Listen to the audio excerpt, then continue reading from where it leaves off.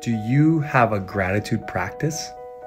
Something you do every day that allows you to feel the sense of gratitude as you start your days. Did you know that gratitude and gratefulness are the only values or emotions that we feel as humans that actually have no negative polarity? So you can be happy and still be sad. You can be joyous and still have anger. But when you're in the state of gratitude, you're truly in the state with nothing else that can come in.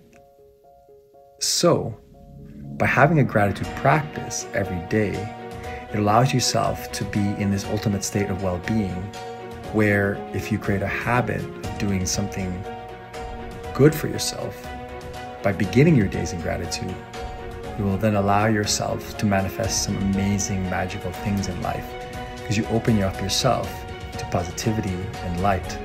Not to say that you have bad days. You can still have bad days. But moving forward is going to be easier because you allow yourself to begin your life being grateful. So, do you have a grateful or gratitude practice? And what is it?